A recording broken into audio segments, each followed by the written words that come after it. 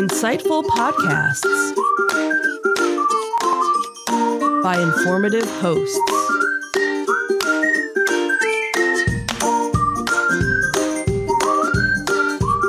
Insights into Things, a podcast network.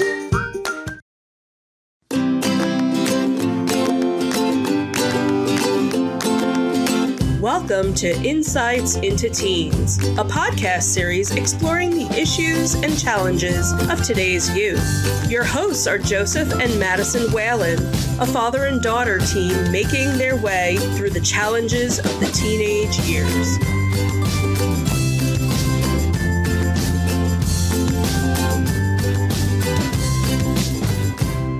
Welcome to Insights into Teens. This is episode 154 Ranking Magic Kingdom Rides. I'm your host, Joseph Whalen, and my energetic and analytical co host, Madison Whalen. Hi, everyone. How you doing today, Maddie? I'm doing all right. How about you? Doing good. And this week we have our special guest co host with us, Michelle Whalen from Insights into Entertainment. Uh, she is our resident Disney expert and uh, will be offering valuable insights. Sure, we'll go with that. How are you doing today, dear? I'm good. How are you? I'm doing great. So we uh that's the wrong camera angle.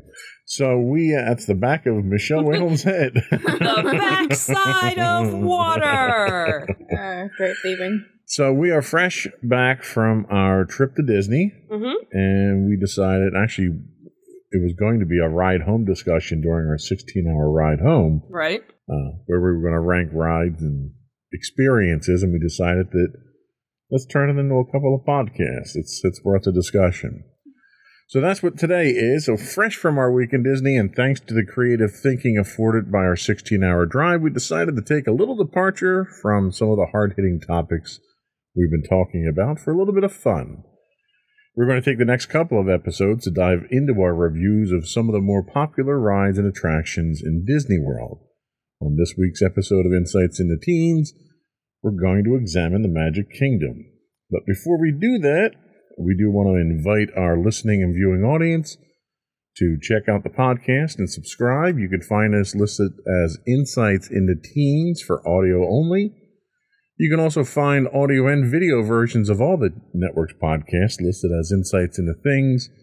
And we're available on Apple, Spotify, Google, anywhere you can get a podcast these days. We would also invite you to write in, give us your feedback. We're always looking for suggestions on show notes as well. You can email us at comments at insightsintothings.com. You can hit us on Twitter at twitter.com slash, slash insights underscore things.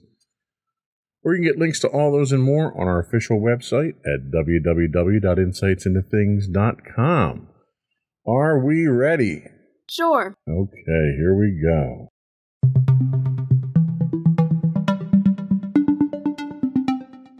So the first uh, area that we're going to start out with, because you were kind enough, Madison, to break these down into different areas for us, is Tomorrowland. So in Tomorrowland, we have a couple of different rides, most of which I haven't been on, so I don't I don't see me speaking too much in this uh, segment.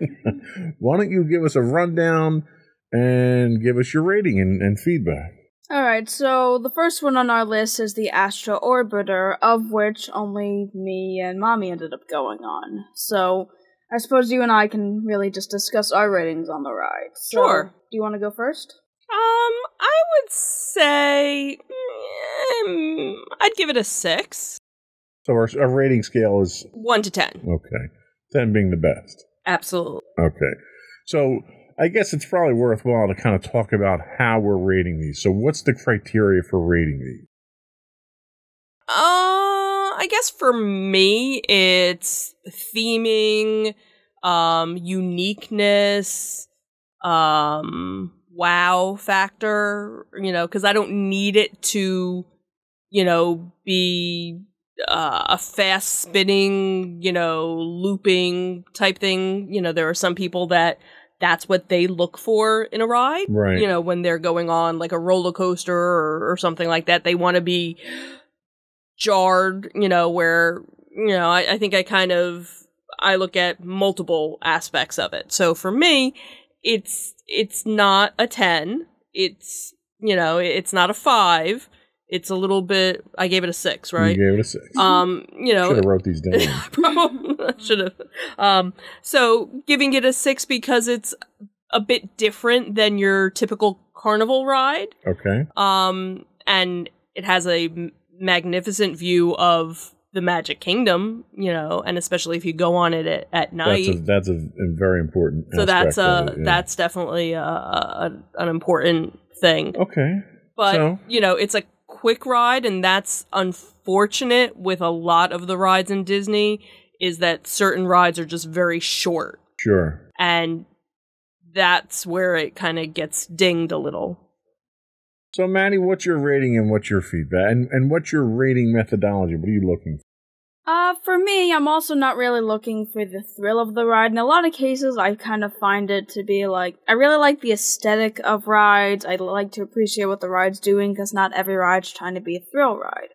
So I can appreciate just the general purpose of a ride, and I don't really do it on a scale factor of if I feel thrilled by it, really just the aesthetic and what it's trying to get across.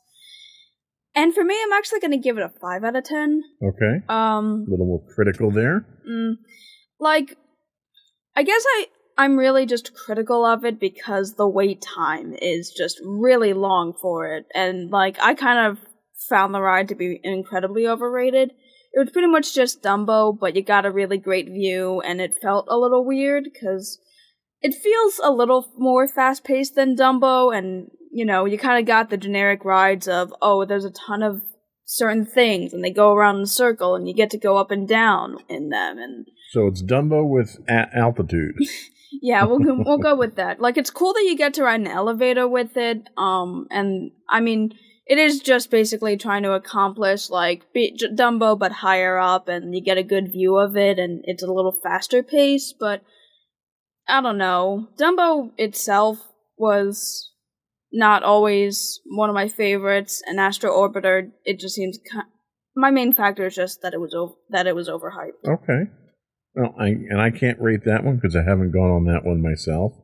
But the next one that we have up is Buzz Lightyear Space Ranger Spin. Now, this one I have been on. Um, so one of the things that, that, or some of the things that I look for in a ride for me are replayability. You know, do I want to go on a ride multiple times, or is is it the same thing over and over? There's nothing changing. There's nothing dynamic about the ride. So the rides that, that make me want to go on them more are rides I, I enjoy more.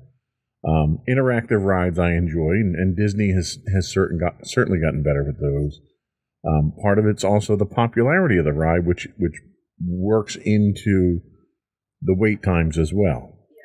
So there are a couple, in addition to what you guys had already talked about, there are a couple of things that I looked at, and one of the ones that I love is Buzz Lightyear because it's so interactive, and it's multi-person interactive. So you ride with a second person typically on there, and you're riding through, and it's a th- you know a ride on the rails type thing. But you've got targets all over the place, and you can spin your capsule around, so there's that level of dynamic interaction, and you get to keep score. So you know it can be a competition if I'm winning, because you know it's not a competition unless I'm winning. Yeah. Uh, so I would give Buzz Lightyear's Space Ranger spin probably a seven out of ten because it's one of my more favorite rides.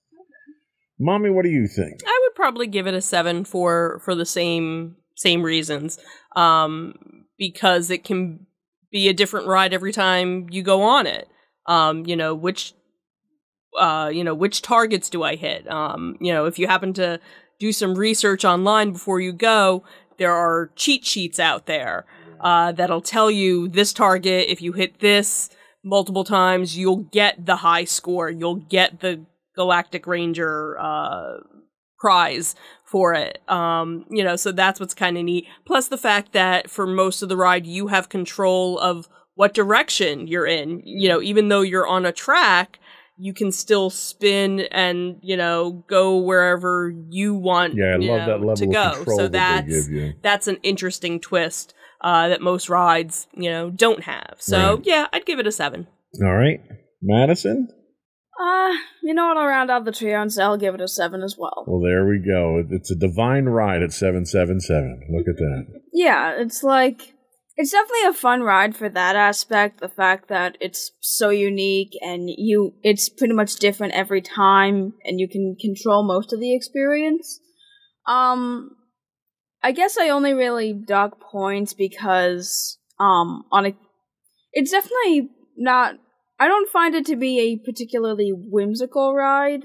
I guess. Um, the theming is pretty cool. Um, but it's really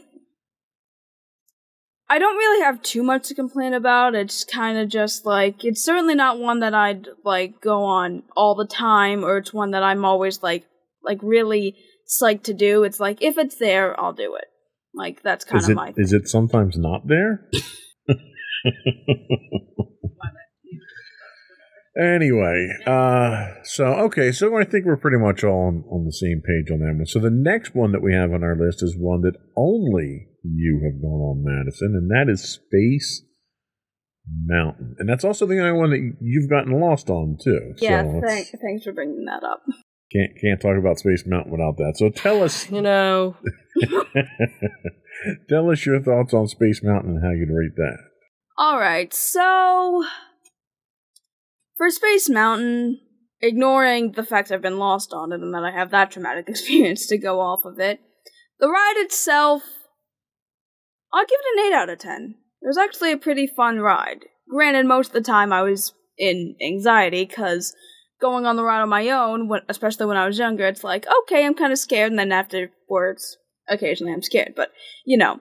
Um, So, so for Halloween, the Halloween party, there was Oh, a yeah. twist to it. So, what was the twist, and does that affect your rating? Okay, so the initial ride is supposed the initial concept of the ride is supposed to be it's pretty much a dark roller coaster. You don't see really much. You like there's a few um areas that are lit up, like a few scenes, and like occasionally you'll get some visual, but most of the time you don't see the track. The Halloween twist on it was that every single light was out. You were in complete darkness the entire time unless you were boarding and exiting. Other than that, there was no light on the ride. So you saw nothing. There were no scenes. You saw absolutely nothing. And it was really jarring for me. Like, I would, like, the one light up tunnel wasn't working. The one scene with the space air, with the space people you didn't see. It was pitch darkness. And, like, it made it scarier, I will admit. Like, you hear sounds and you don't know where they're coming from. And it's like, it is a legitimately kind of scary ride. Like I know a lot of people might not be scared by that, but I was kind of scared uh by it. Does it affect your rating, though? Uh probably not cuz I know it's like a special part of it and it's not like the general ride. What I remember of the general ride was that it definitely had this really cool ambiance behind it and it was supposed to be a dark roller coaster. You weren't supposed to see what was happening. You got a few cool scenes. It was definitely uh, cool theming, and it's probably got one of the most iconic ride designs out of any of them. Um, and I definitely, it was definitely one of the more energized roller coasters. When I compare it to something like Big Thunder Mountain, I realized Big Thunder Mountain isn't all that much. Like, there's definitely much more of a thrill factor when it comes to Space Mountain than it does with Big Thunder. While Big Thunder certainly has a lot of thrill to it, comparing the rides, uh, Space Mountain certainly has way more like twists and turns, drops, and so forth. And it's definitely the scarier of the rides, and thus the more thrill seeking. Okay. Um, All right. I, I think that's a good summary. So the last one that we have here is one that uh, you and mommy have been on, but I have not been on, and that is Tomorrowland Speedway. Why don't you tell us about that one, mommy? So that's one of the, I guess, original rides uh, from from the park, and it's these little cars that you get to ride. Um, as long as you're tall enough to touch the pedal, you can drive the car. It's on a track. Um, depending on how busy the park is, uh, will determine how many uh, tracks they have going. When we went, there were just uh, two um, for the Halloween party. Um, and this was actually the first time that Maddie drove by herself. Um, usually, all the other times that we've gone on it, we will ride together and I'll usually drive. Um, but this was her first driving experience. Wow. Uh, so it, it, it was kind of kind of cute because it's one of those where you actually have control of the car. Obviously, you can't go super fast, but you can go slow depending on how much uh, you you press on on the gas. So it's not like one of those driving where you know you have no control of, of the car. So you actually do have control, and you can bump you know the the median uh you know the the divider that keeps you on the track you know you can keep bumping it you know back and forth uh like the steering wheel so okay. So yeah it's always a fun one. Maddie what are your thoughts on that? Uh yeah i definitely found it to be a fun ride. Um you get a little more control over it even though you're still kind of going you know through the same track but technically you can have a different time on like how long the ride takes you. Like you know depending within a certain time limit but like it's not one of those rides that's the same thing over and over again so there's a little dynamic nature to how yeah you like drive it. like the people i was in back of were driving really slow so i had to go really slow or else i would have crashed into them because that's another thing too is that you know, it's not like a bumper car where, you know, you're you not can, supposed to be bumping. Yeah. Right. So, unfortunately, because they were going so slow, I had to go even slower so that I wouldn't hit them. So, So it's not a legitimate race that you can do. right. Yeah. Exactly. Exactly. So it's more like, you know, Disney's version of a traffic attraction. Yeah. Yeah. So I'd I'd give it a six. You know, it's it's one of those. Do I need to go on it? Eh, Yeah. If, Okay. if the if the line's not long, Yeah. we would do it. All right. yeah i'd Yeah. probably go with 6.5 i will give it a bit more credit for being a more unique ride you don't really find anything else much like it so you know What kind of strikes me as odd is that they're still using gasoline powered cars Mhm. for it. Yeah. In the in the world of so many go kart places that do electric go karts. Right. Right. And you've got them pumping out fumes constantly here, which always kind of Yeah. makes me scratch Yeah. my head. Uh, so we did have a couple of honorable mentions. Uh, we're kind of up on the clock for the uh, segment here, so let's run through these real quick. So we have the Monsters Inc. laugh floor. Now I've sat through that. I think it's cute. I love the air conditioning in there. of course yeah. Um, I'd give it probably a four because it's really not a lot. It's- there's a dynamic nature to it, but it's just not one that, that's particularly appealing to me. How would you rate that? I'd probably give it a six uh, because it is interactive. So you know, most of the the jokes kind of change. Um, there is some actual interaction with guests that are there and the monsters that are up on the screen. Um, plus, it looks really kind. You know, they kind of make it look like a nightclub Right. when you go right. in because you're sitting in rows, but then they have you know like almost like tables with like little lights on it. You know. Okay. Um, but Ma- with no w- drink waitress, you know. Madison? I'd probably go in the middle between you two and pick a five. Um, it's certainly not something that I would like normally go on, but I do like the concept of it. It is more interactive. It, you know, it's one of those things where it's like if it's there, you get the air conditioning for it. That's kind of my. All right. And then there's my favorite ride uh, in Tomorrowland, and that is Walt Disney's Carousel of Air Conditioning. I mean, Progress, uh, which uh, is a classic from the World's Fair era of Disney, Yep. uh, which they've updated. We didn't get to see it this time because we didn't get there in time before Yeah. it got shut down.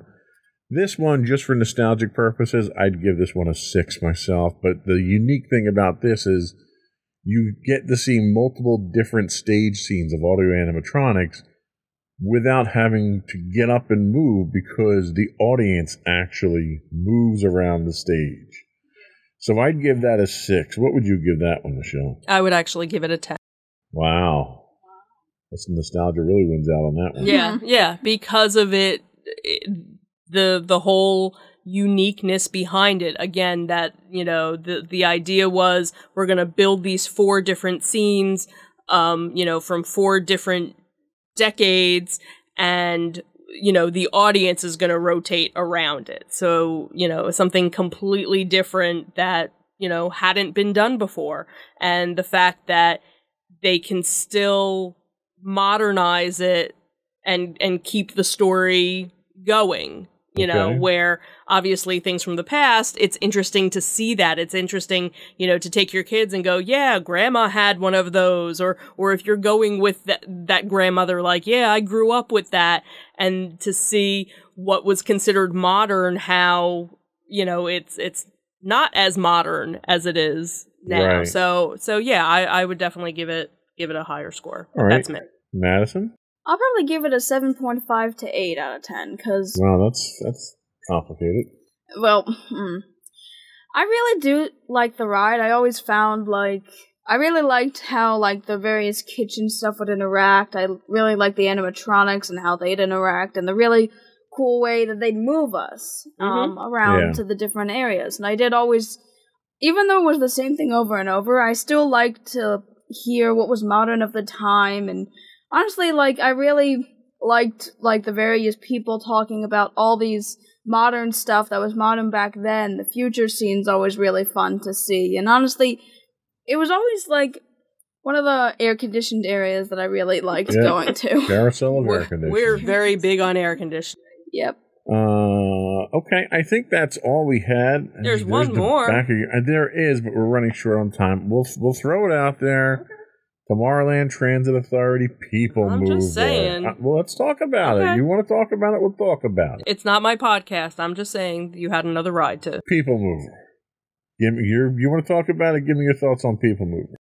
It's a wonderful ride to go and relax and just enjoy and take a little tour of Tomorrowland. Because it's the only way I've ever gone on Space Mountain. So, how would you rate it? I'd give it a a seven. All right, Maddie. I'll give it a nine. I actually really like it, and honestly, it's a really nice way to move around and And wind up in the same spot. and wind up in the same spot. and you? It's not the most efficient way of moving, but uh, I'd give it a seven. Uh, it's a great chance to cool off, even though Mhm. you're not in air conditioning the whole time. yeah. You're moving, um, and you, you get a little quick tour of, of Tomorrowland, which I think is is kind of interesting. And listening to the, the announcers and some of the Mm-hmm. you know kitschy theme stuff that they do there, I think it's again it's one of those nostalgia ones that that you have to do. Mm-hmm. Uh, so that was all we have for Tomorrowland. We're going to take a quick break and we'll be back to talk about Fantasyland and more. We'll be right back.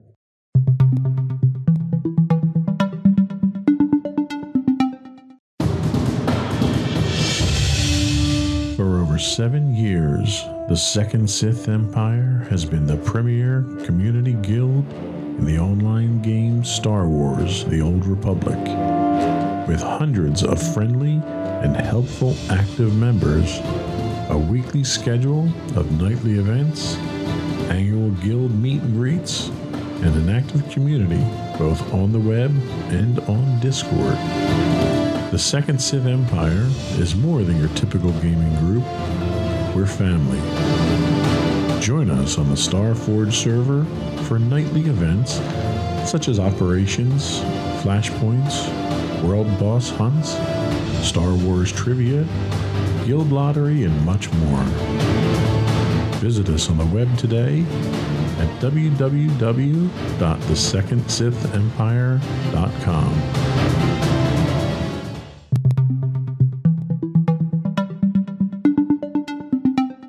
Welcome back to Insights in the Teens. This week we are recapping our trip to Disney and ranking rides in Magic Kingdom. Now we're going to talk about Fantasy Island, I mean Fantasyland. Uh, the first one that we have in here is one that I think everybody knows, loves, and can't get the damn tune out of their mind, and that is It's a Small World. Now I'll go first on this and say I avoid this whenever possible and I managed to not go on it this time around. I know people love it for the nostalgia.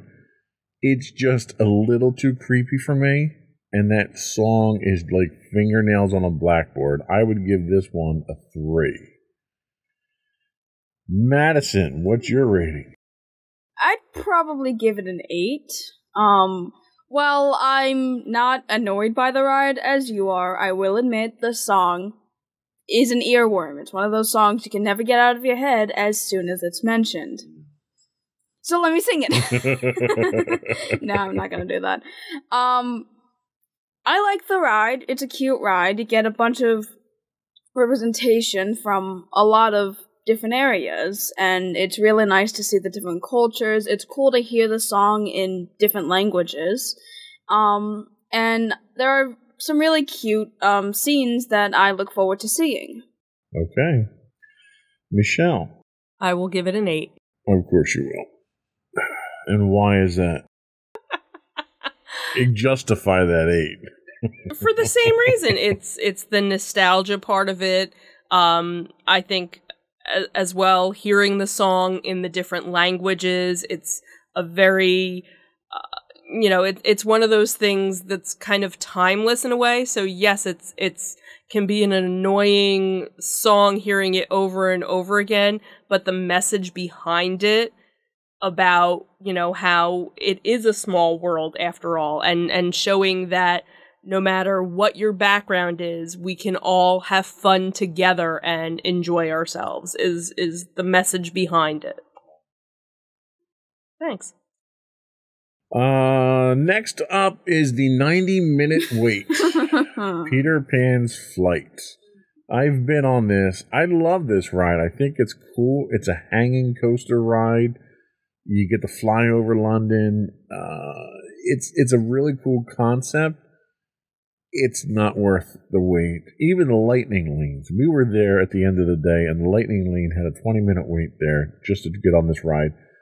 And the ride's literally like two minutes. It's one of the shortest rides in the park.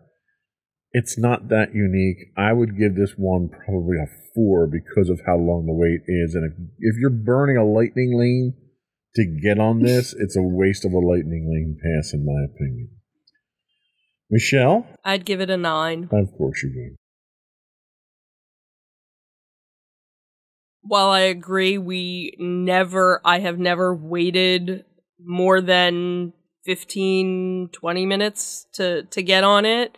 Um i think that's the the sad part of the ride is that there are people that will wait you know an hour you know 45 minutes to go on such a short ride. And that's one where if it was a little bit longer of a ride but it's just again it's a neat concept because most rides you're on the ground and this one you're actually hanging as you're, you know, going through and, and seeing everything. So that's why I give it a, a higher score. Okay, that's perfectly fine. Madison?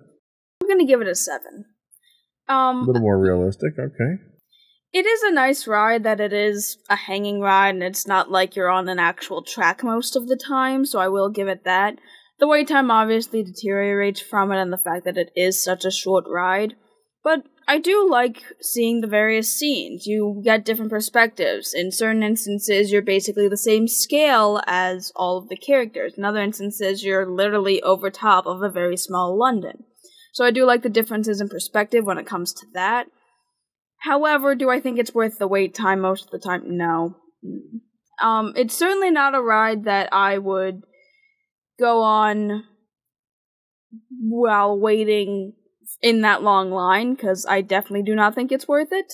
Um, but for what the ride is, it's really cute. Can I justify the wait time? No, but is it a unique ride? Yes. Okay, very well thought out. So the next one that we have is another one that only Madison has gone on, and that's the relatively new roller coaster Seven Dwarfs Mine Train. Tell us about that one because you've gone on this one repeatedly in a row as you burned our fast passes in the past. yes. So clearly you have an affinity for this ride. Yeah. Um I definitely find this ride to be very interesting. It's definitely a very interesting roller coaster because there's certain areas where there's actual scenes that are played out. There's one where you're in the mines and like they're like an- audio animatronics and it kind of stops for a bit and like then after when it's time for them to all go, that's when the ride starts to pick up. I definitely find the aesthetic of it really cool because when you're walking through like the longer lines, there's like interactive areas, which is really cute. Um, I like the cart style. It's a really nice aesthetic, and it's also one of the more fun roller coasters. You get like more drops. It's definitely way more fast paced. But then there's moments where you do get, you know, uh, to slow down and see the scenes and appreciate the audio animatronics. Um, so I'll give it, I'll give it an eight point five. Okay, I think that's a very well thought out, very well reasoned answer on that one. Uh, the next one we've all been on, and that's the Many Adventures of Winnie the Pooh. And I will. The only thing I will say here, I'll give this a, actually, I'll give this a, a seven because I think a, it's a cool ride. It's a fun ride, especially if you're a fan of Winnie the Pooh. If you have a bad back, the Tigger section is not your friend, and I'll just leave it at that. Mm-hmm. Michelle, what are your thoughts? I, I would give it an eight, um, because it's it's a unique variation of the the classic dark ride. Um, what is kind of cool is you go through different scenes throughout the Winnie the Pooh story with different characters, and each scene kind of takes on a um, uh, a whole different theming, and even your ride takes upon that theming as well. So to kind of mention about, you know, the Tigger, there's a scene with rain that's very cleverly done with to uh to to portray that while not actually having any water at all, you know, in the ride. Madison? I'll actually give it a nine. Uh, my main reasoning being, again, like you said, it's a very unique dark ride. Not only is it like very uniquely styled, you have various things that are 2D, three dimensional, digitally animated. Like there's a lot to appreciate in the ride because there's like such a diverse amount of oh well this is 2D but you got 3D animatronics you've got certain areas that are animated and such and like I really enjoyed that aspect of it and also I uh, on the better judgment of your back I do like that there are certain instances where your like motion changes. You're kind of jumping in the Tigger scene, like you're kind of moving in different areas, and it's not just a straight regular ride. You feel during like the rain scene, you start to feel like you're floating. It's like it definitely tries to play with your with the motion a bit more. And I do like the interactive stuff that they have um during the wait time. I think that's a really cute area. So nine. I do miss Mr. Toad's Wild Ride. Just saying. Got to go to California for that. I know. Well, And we did. and we did. So. So Uh, next up, we have Undersea, Under the Sea Journey of the Little Mermaid. And I, have I been on this? I don't remember. Yeah, yeah, you you, have. Okay. You just don't. So I, I can't rate it because I don't actually remember it. So, Michelle, why don't you give us your. Uh, I would give it an eight. It's a uh a more modern take on the dark ride, and um, since it was built into a brand new area of Fantasyland, they were actually able to make it a longer ride. Um, the problem that you have with like Winnie the Pooh and um, uh, Peter Pan is that it's a short ride because of the way they built it. You know, they've never been able to really expand it to make it a longer ride. Whereas with The Little Mermaid, it's the same concept um, of basically telling the story of, of the movie, but it's longer. Um, so you, it, it doesn't go by as quick as some of the other ones. So I would give it uh, an eight. Okay. And Madison? I'd probably do the same thing. I'd give it an eight. Um, it is definitely a way longer dark ride, and it's certainly way more unique and bright and colorful compared to most dark rides.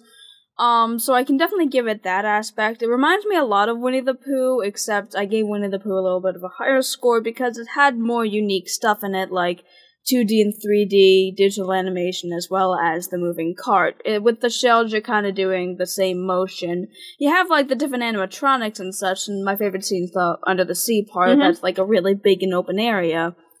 Uh, but I definitely think it uh it deserves an eight compared to what I gave Winnie the Pooh. Okay, I think that's a good review. So I did take liberty and broke out the next two from Fantasyland to really what's a subsection of the area, and that's the Storybook Circus area there, which is a whole nother area that you can explore through Fantasyland. There's two rides there. One is Dumbo the Flying Elephant, which I had gone on ages ago before they redid it. Um, but it's the same ride, but I will give my two cents on the redo where they put a second one in. My biggest complaint was how long the wait was versus how long the ride was. They obviously mitigated a lot of that by putting a second ride in, so they've literally got two sets of the same ride there. But the biggest thing for me was they put the circus tents in where you come in now, you get a reservation, you get a little buzzer like it's a uh, a, a buzzer thing you get from a restaurant. And there's a play area for the kids. It's air conditioned, and the parents can go in there and wait with the kids, and the kids can have fun until it's your turn. Which, you know, I ding Disney for the fact that they don't lower the wait times on rides. They just try to make waiting less painful. And this was one of the most successful ways of them doing that. So I'd actually give the ride a six. The ride itself is a you know the standard ride about up and down type ride. So the ride's not thrilling. The overall experience I think is, and it's a great way of handling those those waits. Michelle, I would probably give it a six as well for the the same thing.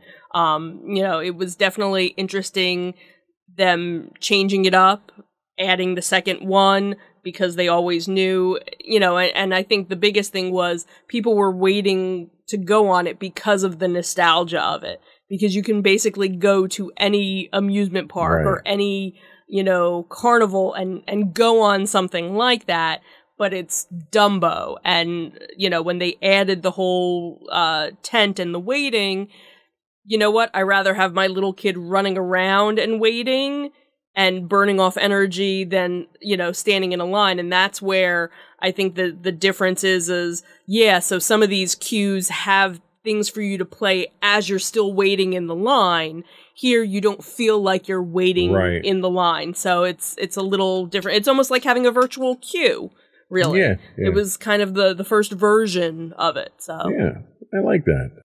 Yeah, I'll also round it off and just say six. While the ride certainly isn't thrilling So on this its is own. a satanic ride then, six six six.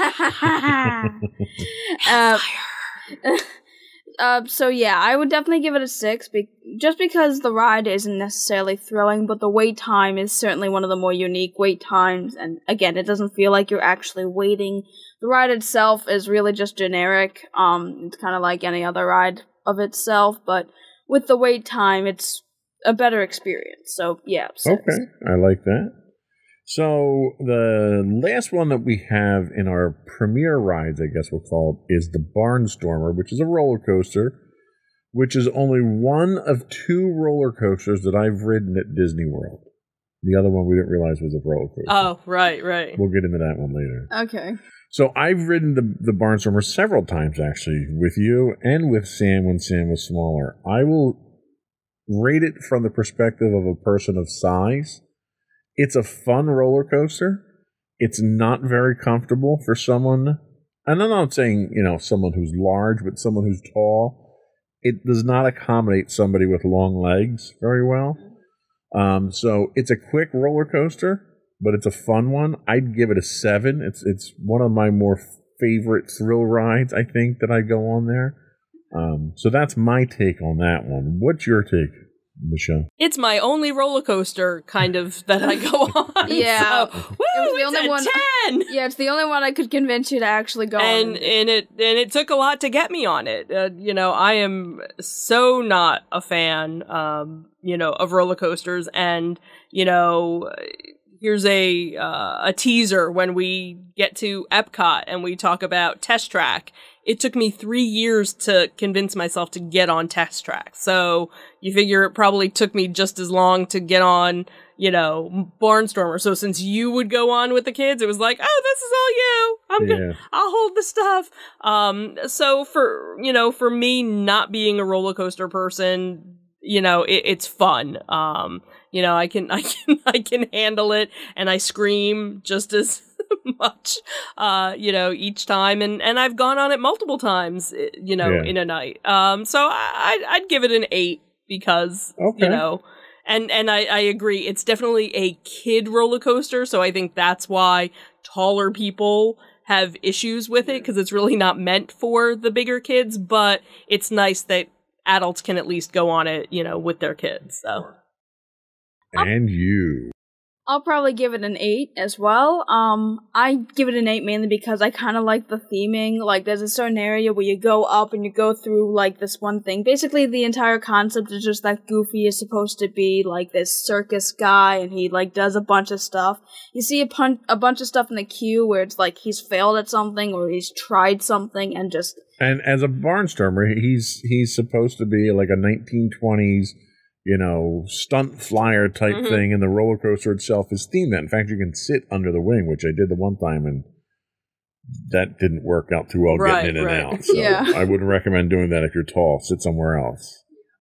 Um, so yeah, I'll give it an 8. While it's definitely not a thrilling roller coaster, I do love the theming of it, and it's the only roller coaster you've ever really been on, so I appreciate that aspect of it. All right. So our honorable mentions. We have three honorable mentions for Fantasyland. We've got Mickey's PhilharMagic, which, i again, you know, it's a great air conditioned ride. I never liked the queue because they wind up packing you in there like cattle, and it takes so long for the next show because they'll start packing you in Yeah, I, you've got I, a 20 minute wait. I don't understand why they have the queue the way they do because especially if not to go off on a tangent, but especially when you don't have a long line, there's you know, in most cases they kind of rope things off so that you just do half the line. That one, there's no way to cut it, so you're still going in and out. And you know exactly how long the wait is. It's Right. always the same amount of time Right. unless something breaks with the show. Right, So I'd give this one a five. It's not one of those ones that I look to see over and over again. I've probably seen it a half dozen times. It's a 4D ride. You know, they do the blowing the stuff in your face and the smoke and this, you know. It's not a ride, it's a movie. Right, it's a movie. But it's a 4D movie that they do that's a great break if you just need someplace to cool off and relax for a little bit and watch a movie and be done with it. The score is awesome. Mhm. You know, the Yeah. music that's in there. And, And unfortunately, they have added a couple of scenes since we've seen it, so we haven't actually seen it with the new Right. enhanced, you know, scene. So it is something that at least they're updating right. as, you know, different So things come out. five for me. Madison? I'll probably go with a 6. I definitely liked the uh, 3D, 4D aspect to it. Um, I always found it to be a fun ride. Well, eh. Attraction. Uh, for, attraction for what it was. Uh, wasn't one that I'd go on constantly, obviously, so yeah. Okay. Six. Okay. I think we're all on the same page there. Next honorable mention we have is Prince Charming's Regal Carousel, which, by the way, hails from New Jersey. Um, I've never actually been on it. All the times that I've been there, I've never been on the carousel. No air conditioning, so there's No, not much appeal for me. Madison, you've been on it. What are your thoughts? I don't know if I entirely remember it, but um, I guess I'll give it a four, mainly because it's a carousel. I don't know if there's really much else to it. You get like the Sword of the Stone, but it's like it's really just one of those regular rides. I don't know if there's nostalgia attached to it. I don't find nostalgia attached to it. It's one of those rides I really don't. Okay, fair enough. Michelle? I'd probably give it a a five, you know, just because it's probably one of the best upkept carousels versus, you know, if you go to you know other theme parks or you know carnivals or things like that they take pride in in their horses Yeah. they you know take them down and will you know refurbish them and and repaint them and and you know again if you do research you know almost every horse has some sort of backstory Right. ab- about it of the design of who it's named after and things like that so Okay. you know Sounds good. And the last honorable mention's another one that I haven't been on, and that's the Mad Tea Party Teacup. you didn't go on that Nope, never went on it. Thoughts? Um, uh, I guess I'll uh give it a six. It's kind of cool. One of the cooler spinning rides. Not one that I'd really go on all that much, but you know, it's cool theming. Okay. I'd give it a five. It's, you know, your typical teacup spinning. There's nothing really, you know, different. But the the You're certainly not selling it to make me go on it at this well, Yeah. it, I don't like spinning rides, so Yeah, that- you know, Okay. I the the memory I have is you know my dad trying not to spin it and he ends up spinning it more. So it's that just kind of, you know, killed it for me. Yeah. All right. So that's all we have for our Fantasyland segment. We're going to be right back. We'll take another quick break. We're moving on to Adventureland, Frontierland, and our ever popular Liberty Square. We'll be right back.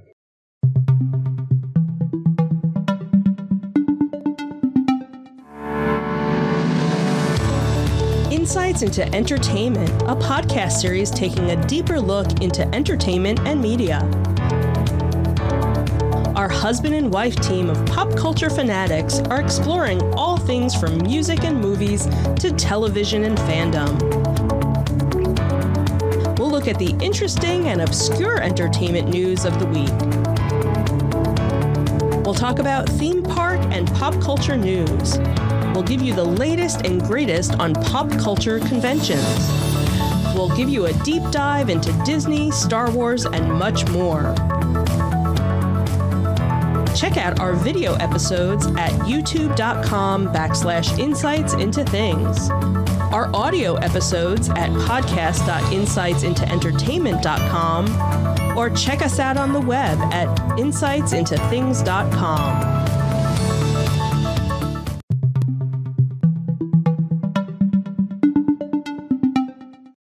Welcome back to Insights into Teens. We are ranking Magic Kingdom rides today. And next up is Adventureland, where a couple of our biggest uh, rides are that we like.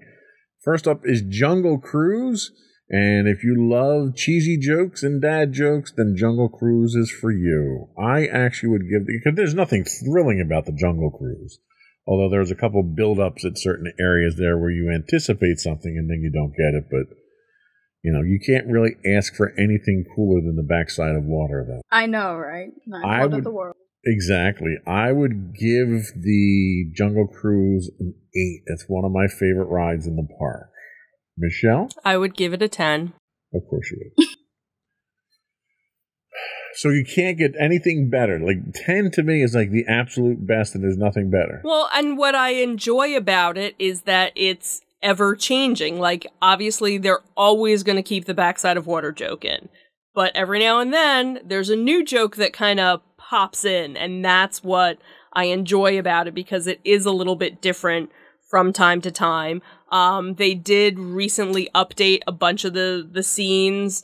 Um, so that was kind of neat to, to see that difference when we went, um, you know, this last time. So, and again, part of the scoring is also the nostalgia behind it. It's, um, you know, one of the original rides. It's still there. It's still relevant. Um, and the jokes kind of keep changing on it. So, Kind of grow on you. yep. Like a fungus. Like moss. Madison? I'm gonna give it a nine. Um, I definitely really like the ride. It's definitely one of the ones where it's like it's slightly. It's definitely one of the ones where it's really kind of fun because you actually get like the cast member interaction and the backside of water is obviously gonna be like the most amazing was the most amazing thing ever. Um, the last time we were on it, they definitely did change some of the scenes. There was certainly some more new jokes. Um, and really, I like the aesthetic of it. It's really not. It's a water ride, but you're not gonna really get much uh, anything like it. So Okay. So the next one we have is not is one that you don't always go on. It's another you know spinny lifty ride, and that's uh, the Magic Carpets of Aladdin. Uh, that's one I've not been on. Uh, the two of you did get a chance to go on it at the tail end of our stay on Friday. Mhm. What, what are your thoughts, Michelle? Uh, I would give it a six. Um, you know, again, it's your typical up and down ride, but what's kind of interesting is the person that's in the front uh controls the up and down and the person in the back can actually make your carpet, you know, pitch forward and and backward. Um unfortunately because of where it's situated when you do get up high, you're not really getting as nice of a view of the park as you do with the Astro Orbiter.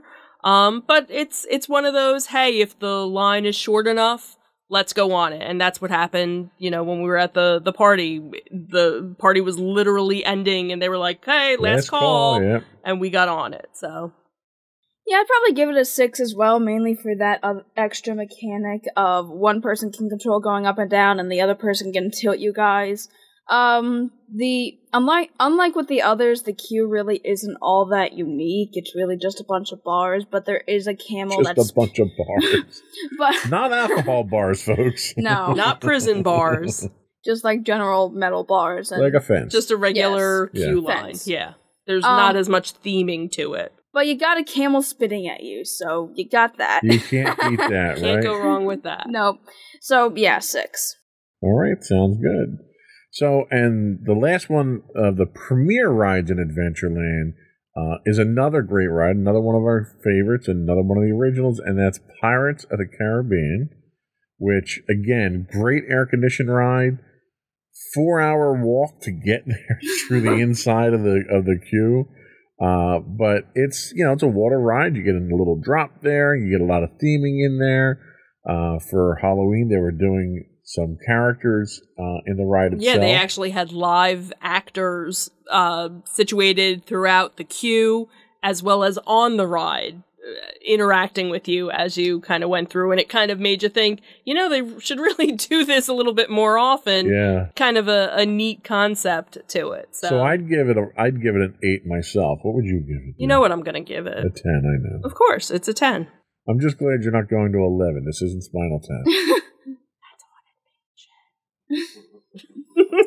Um, I'd actually give it a 10 as well. I really like the theming of it. The queue, while it certainly is very long, they updated it and it very much gives you the pirate aesthetic. While it is a very long ride, like, I really. You immediately get entrenched in it when you walk into the ride. You got cannons, Yeah, you got, yeah. like. It's a really. F- like, while there's not, like, activities to do, it's really amazing to just look at it. it's You almost get- like walking through a museum yeah, in because you're some literally respects. walking through a recreation of a Spanish fort, which is Mhm. really neat. yeah yeah Yeah, um, and I definitely like obviously the ride itself. You got like a really cavey, creepy aesthetic in the beginning. You get the drop. And then you start finally getting into the pirate areas. You got Jack Sparrow. You have the various scenes that are old that were altered. Um, and, and people are still bitter about the redhead so Yeah, there's well, that too. They'll get over it. yeah eventually but yeah, Okay. So, and we're going to hold off all of our honorable mentions for all these different areas until the end of this segment. So, Okay. there are some for, Adventureland. Next, we're going to move on to Frontierland. So, Frontierland has one that Maddie only has gone on, and that is Big Thunder Mountain Railroad, which you go on quite frequently. What are your thoughts on that? Um, I will say, I do like the theming of it, especially in the queue. Like, you get a really cool miner aesthetic. There's a lot of various signage that you can read when you go on, like, the longer wait times. maybe one day she'll actually take pictures for us or video What a novel idea. Mm. Okay, fine, I'll do that next time, alright? um, but yeah, there's a really cool aesthetic to it. You're actually in a legitimate train. It's not really like your typical roller coaster looking thing. It's supposed to be this runaway train. Unlike the one in Hollywood Studios, we're not gonna worry about that. uh, but it's a really cool one. There's like parts where you're outside, parts where you're inside. There's like this really cool cavern, which was supposed to, I think, be like a memorial to the original ride that was there, which was a much slower train ride through like Rainbow Caverns and things like that. So there's like some parts of that too. It's certainly not as thrilling of a roller coaster as some of the other ones are, like I mentioned with Space Mountain earlier. Um, but it's still one that I really like to go on purely for the aesthetic, and that it is still like a really fun roller coaster, but it's definitely a little more tame. It's really in between uh, the intensity of Barnstormer and uh, Space Mountain. Okay. So- like so maybe one day i'll One- get on it Maybe one day. One day. Um, I'll give it a seven point five. Okay. So the next ride is one that I like to refer to as Extortion Mountain. It's actually Splash Mountain, but we extorted Mommy several times to get her to start going on it. And shamed her Uh-huh. into it hmm uh, because we all remember the first time that we took mommy on that. we Well, got, the first time all three of us tried. But that wasn't my first time No, on it it. I wasn't. had already which is been know, on it, but I had such a traumatic experience I didn't Right. want to go on. it. Right, so it wasn't your first time on it, but No. because you were going to wind up sitting in the front, I you said, bailed as soon as you got no. onto that. Yeah, it was. oh, I have you to sit and- there. It was our first time going on it. Right. You, it was like your second, and as soon as you saw that we were in the front row, you're like, "Nope, we're out." Yeah. Oh, Uh, and then you and I actually went on it. We sat in the front, which uh, didn't work out very well because being a person of size myself and not being a small, what were you, seven at the time, maybe, when we did it, the lap bar did not really secure you very well because of. It still doesn't. Uh, so I was terrified that you'd be coming out there. So I was very cautious in making sure I was holding you tight next to me at the time. Uh, I love it. It's probably one of the longest rides in the park itself, which can almost justify the wait that it has because it's always usually got a long wait. I would give this one a nine just for theming, um, for air conditioning because you do go through an air conditioned area there. Uh, and the drop, you can't beat that drop at the end. That's literally the most thrilling ride, I think, in Disney because of that drop. Michelle? I would probably give it a nine as well. Not a 10. No, Wow, okay. because I'm terrified. Because of the emotional distress that it causes. like I, I really have to work myself up to it, even though I've been on it numerous times now, Yeah. and you know I know what's going to happen. So Well, and that last drop, the worst part is, it's like yeah, you know it's coming because Right, yeah. there's this incredibly long Right. incline up to it. So and it's you not got even like the a surprise. vulture, right? Yeah, and, and, like, the the vultures are talking to you, like teasing you, and you're like, "I'm gonna die!" And like this is like, and and all I kept, you know, I think the first time I, I went on it, I kept thinking to myself, I I fly on planes, I go through turbulence, and you know, it takes longer to, you know, this is gonna be over in in three seconds. You know, d- you'll be fine. One, two, three. Why is this taking so long? And ah! you know, and then you're like, all right, I'm good. Hold on, let me clear off my glasses now because I can't see. Yeah. So 9 9, and for you, I'll also give it a nine. it's the reverse devil. The reverse devil. There's the upside down devil.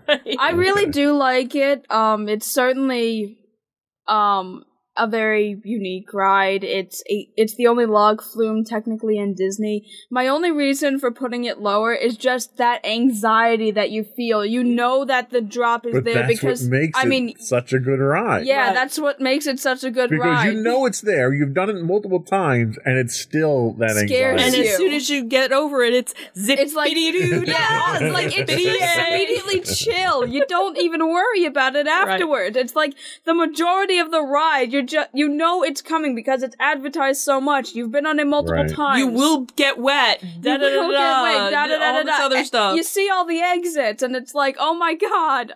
And Why then you am get I the- doing this? And then, like, you just feel that anxiety constantly throughout the entire ride. And then immediately when you get to the vulture, it's like, oh my god, this is it. I can't go back now. And then you just go all the way up. And then you finally drop down and, like, you're screaming.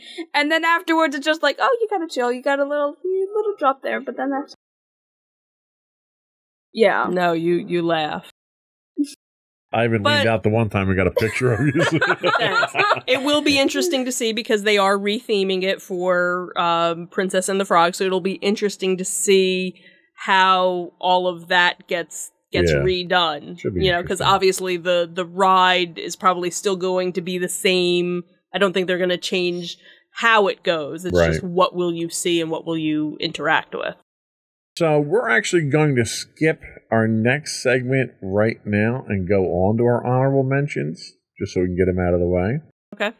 Uh, so our first honorable mention is another great air-conditioned attraction that we have, and that is Hall of Presidents, uh, which is if you're a history buff, if you're into politics or anything like that, great educational ride, very inspirational, not ride, attraction, but it's very inspirational to sit through. I'd give this one an eight myself um, under the current administration. That could change in the future. Um, it is dictated by the current administration uh, because the current president uh, is a premier focus in audio animatronic. Uh, so it's important to note that. Michelle, what would you give it? Probably give it a nine. It's Okay. it's one of those, um, and and especially because it's something that gets updated pretty al- almost every four years, really. With you Four know or eight? four or eight. Um, and even sometimes, you know, back in the day, they really didn't update. You know, like the the president part got updated, but maybe the rest of the story didn't get updated. But now they've been updating the story a little bit more, so there's you know some history to it, and I like that they, you know, feature various different presidents. It's not just about who the current president is, Right. but you know who had an impact no matter what political party you uh you know they were part of and of who didn't have an impact is obvious too from the from the absolutely so it that's what's you know it's a great way to kind of have that you know 20 25 minute history lesson and you know be comfortable and and get out of the rain or get out of the heat and you know if you're a kid and you want to take a nap take a nap and for those parents you know or those others that are interested in the the history lesson it, it's a nice nice little lesson Madison. I'll give it a seven. I've never really been all that much of a history buff myself, um, but I can certainly appreciate what it's trying to do. It's definitely trying to teach you more about it and bring more awareness to that kind of stuff, and I do appreciate that it has that it does change. I personally it's it's really just one of those rides that I wouldn't really go on unless I'm trying to escape the rain, really. Okay. That brings us to our next honorable mention, and that is the Enchanted Tiki Room. In the dicky dicky dicky dicky dicky. Don't do that. They're going to give us a takedown notice. Oh. Um, so this is again is another uh, air conditioned sit down attraction. You got a little pre show that goes on there, a little comedy show and stuff. You go in and there's some singing and there's some jokes and there's a lot of craning of the neck to look up. And there's benches that aren't very comfortable, but there's air conditioning, and that's really the most important thing. This I'd give a six. Okay. Michelle? i'd give a nine Okay. because again it's a nostalgia thing the, the, the birds were the original animatronic audio animatronics that walt had They were Design. the original employees They were the original souls have been encapsulated in audio Right. animatronics. um they at, at some point they had revamped the show and made it worse and a lot of people hated the show and refused to go to it and you know at least disney realized they had made a mistake and kind of reverted it it was their new back. Coke moment. Huh? yeah, it was their new Coke moment, and they kind of went back, still modified it a little bit, but but brought things back a little bit better. They they realized, you know what, don't mess with if it's not broken, don't fix it. Um, and you know, so again, it, it's one of those attractions that not everybody wants to to go, but if you want a nice little break and see, you know, again how uh, audio animatronics have evolved throughout the years. Here's a good starting Sure. point to see how they start. Madison? Seven point five. It's um a good. I like the theming of it. Um, it is cool to see the an- audio animatronic birds. Uh, not one that I'd go on constantly, but it's a nice air conditioning ride, and I certainly prefer to over Hall of Presidents if I'm looking to get air conditioning. Okay. And the last honorable mention we have is a Tex Ritter special Country Bear Jamboree. uh, this one I've actually only sat through like I think two or three times. It's an interesting show. Mm-hmm. Um, not one that really tickles my fancy. I'd give this one probably a four. What would you give it? I'd probably give it a seven. It's it's a cute little get out of the air conditioning, you know, musical um variety show type thing. Again, this was one that they had modified it at one point. People didn't like the newer version of it, so they kind of brought it back. So it it's kind of interesting. You have this whole cast of different characters and a nice way to spend, you know, 15 20 minutes uh in in the air conditioning and the seats are a little bit more padded. So Okay. Madison? I'll give it a five. I don't. I only remember being on it once really. Um it's certainly not one of the ones that I it was it's like a go-to air conditioning spot. It was really just there. I didn't actually know it existed for a bit. Um the bear like it's interesting, but like I don't know. P- other other attractions do it better. That's really all I can say. Okay, I can't argue with that. So honorable mentions are out of the way. This brings us to our last attraction. We saved the best for last. This was at Liberty Square, and this brings us to the Haunted Mansion. And Michelle, we're going to let you head this one off. What do you want me to say about it? Whatever it is you want to say about it. How much time you got? um, well, if you've ever listened to our podcast or, you know, anything that I've I've talked to, um, and if you don't know, the Haunted Mansion is my absolutely absolutely most favorite ride ever. Um, there is nothing that for me that that tops it. Um, and it, it's an 11 for me. I can't, uh, you know, it, it's just one. There's the nostalgia part of it. You know, I remember going on it as a kid. I remember not being scared of it.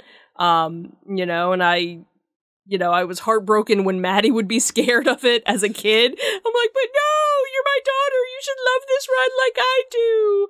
Um, and it's one of those things where, um, for so long, you know, you had people who loved the Haunted Mansion, but you know, you could never find things for it. You couldn't find merchandise for it. And now it's there's almost too much merchandise for it. So it's nice that it's finally gotten the love that it you know, uh, it's deserved. It'll be interesting to see what the second version of the movie co- comes to be, you know, how they do it justice, but it's just one of those you know, it, it's a dark ride, but there's various different tricks that they do. You have the Pepper's Ghost, and there's some holograms, and just the lighting, and and you know, just all these different things that they do to it. And you know, they've updated updated it throughout you know the years, but still keeping a lot of the original aspect of it. I do like that they don't change it for Nightmare Before Christmas in Florida. Um, but I do like that they change it for Nightmare Before Christmas in, in, in Disneyland and that that's an interesting take on it. Um, you know, my, my bucket list would be to visit all of the other parks and see their other versions of it. Um, so it, I, I, you know, I don't know why it has that effect on me. It just, it just does. It's one of those Alright. things. It just always has and you know it's once you finally get inside it's great air conditioning and it's you know hysterical that the cast members have to be mean or have to be you know grimacing you know it's one of the only areas of of the park where the cast members won't smile at you you know they're kind of mean to you a little bit so All right, Madison, what's your take on this one? And remember, it's mommy's favorite ride. she can hate it if she wants it's okay i won't be upset I'm gonna give it a ten. Um, I Smart move. while I definitely don't have an insane amount of love for it like you do, I can certainly really appreciate it. I certainly appreciate that it's one of the rides that certainly tried quote unquote to be scary in the minds of Disney.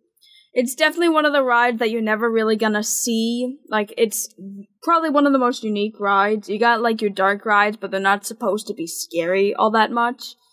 But this, you have legitimate ghosts. There's dead people. There's jokes about being dead. And There aren't any actual dead people on the ride. Just I for mean, the yeah, record. just Right. to for the record, it's, there are already ghosts so yes. Um, I really enjoyed the aesthetic of it. Um, I liked the queue that they added. Um, again, it was one of the more interactive queues, but you got actually way more different stuff than you normally get in other queues. Like, there's a murder mystery part to it. There's like this thing where like you actually respond to a voice. There's like various musical instruments you can tap. It definitely has more unique stuff to do, and it's not, and it can be, and it's necessarily for more ol- older audiences. Where you got stuff for little kids, there's more like stuff where you actually have to think, and like the murder mystery specifically can be specifically for the adults. Um, I do like uh, the queue where they added Madame Leota and she like interacts and stuff. That's a really cool tombstone. Um, it's interesting how you go into the ride where it kind of starts, although you're not really on the ride. The stretching portraits is very iconic for this. You get like the narration again the cast members being the cast members that you would never really see. Like all the cast members always seem to smile or something. Nope, here they don't smile. And one of their jokes that I heard before was like, "I've seen the dead move faster than you," and like they always have these monotone voices. I absolutely love like dealing with those cast members, even like dealing with people who are. Occasionally, we'd like take you in your scooter because you d- can't walk all the long distance, and even then, they're still in character. Right, right. Um, and the ride itself is really fun. It has a lot of Pepper's ghosts, and that's really fun. I love how it makes you think that there's a bunch of ghosts. I love all the different tricks to it. The doom buggies are really fun. The aesthetic is just really great. So yeah, ten. Okay. Well, I would give it a nine because I don't give anything tens. Right. Uh, what I like is the array of technology that's in use. You have technology that's literally f- like 18th century technology with the Pepper's Ghost stuff, all the way up to 21st century stuff with holograms. It runs the gamut and they make it work. It, it it's believable. Mm-hmm. It's legitimate the way it works, and there's a fantastic set of stories. I wouldn't even say there's a storyline. There's numerous stories that are told throughout here that if you take the time to actually do a little research and see what these stories actually are, the stories themselves are very well thought out. They're very well themed, and the ride captures a lot of that exceedingly well. Um, the the you you feel immersed. There's a level of immersion to this ride that you don't feel, and a lot of that comes from the characters. Mhm. You know, the, the the cast that's that's there, even when you're interacting with them. You know, you mentioned that I I have my scooter. Even when you're interacting with them in an official capacity from a safety standpoint, where they don't necessarily need to be in character, they still are, and they still maintain that level of professionalism. So it's a performance, you know, from the from the people that, in our case, we saw it. We went in for the the Halloween um, event, and you had live characters that were in the graveyard interacting with people in character, which was cool. But the people that walk you in, the people that are riding the, mach- the running the machines, everybody's in character. Yeah, like the one lady, since there was a line of people that were using scooters and such, they were saying only two carriages are allowed in each succession, and it's like they were in character the entire time. They refer to you to them as carriages, and it's like it was really cool. And the whole land, the whole area around it is themed. You know, the queue is themed. You walk out, you have the pet cemetery, you have the music, you have the gift shop is themed. That entire Mhm. area You is have the hearse. themed. You have the hearse out front, the queue lines, Mhm. everything. When you walk into that area, you literally feel like you're part of it. You know, you've got the external effects on the facade of the mansion, which you don't usually get that on most of the other rides. Mm-hmm. You know, it's an immersive experience just walking past it, not even getting on the ride. Right. Yeah. So it's a very well done ride, and it really dr- draws you into it. So it's it's definitely one of the best, well run rides I think that they have there. I think that is it. I'm sure there's a lot of other things that we could talk about with Magic Kingdom, but we were just trying to confine ourselves to the uh, attractions uh, in this podcast. Uh, I think we'll be back next week with our Hollywood Studios review, followed uh, closely by our Epcot review. Uh, any closing thoughts that we want to throw out there for folks? No? Okay. Don't buy the Genie Plus, it's a scam. yeah. Um, That's my two cents. fair enough. Uh, but I think that's it. Before we do go, I do want to uh, once again uh, invite our listening and viewing audience to subscribe to the podcast. You can find audio versions of this podcast listed as Insights into Teens. You can also find audio and video of all of the network's podcasts listed as Insights into Things. We're available on Apple Podcasts, Spotify, Google, Stitcher, Castro, etc., etc. I would also invite you to write in, give us your feedback. You can email us at comments at insightsintothings.com. You can hit us on Twitter at twitter.com slash insights underscore things. We're on Facebook at facebook.com slash insights into things podcast. We do stream uh, five days a week on Twitch at twitch.tv slash insights into things. If you're an Amazon Prime subscriber, you do get a free monthly Twitch Prime subscription. We'd appreciate your support through that. Uh, or you can get links to all that and much more on our official website at www.insightsintothings.com. And you. And don't forget to check out our other two podcasts, Insights and Entertainment, hosted by you and Mommy most of the time, and Insights into Tomorrow, our monthly podcast hosted by you and my brother Sam that's not technically monthly anymore. Nor does he always host it, so. Yes. Anyway, someone will be sitting in with me on it. That's it. Another one in the books. Bye, everyone. Bye.